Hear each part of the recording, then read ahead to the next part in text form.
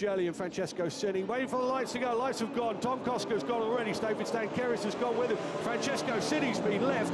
And I think that's Mauricio Copetti coming up the inside of him. Now, that's unusual. Because, oh, no, not already. Already we've got two cars off. Stancheris has gone off and the number five, Max Mugelli. That is terrible news for Max Mugelli.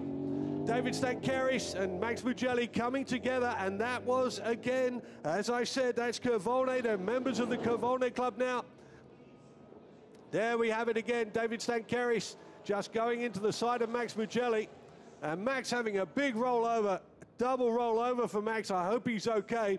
But he cut across in front of Davide Stancheris and pushed them both out. Davide's okay, just hoping that Max Mugelli is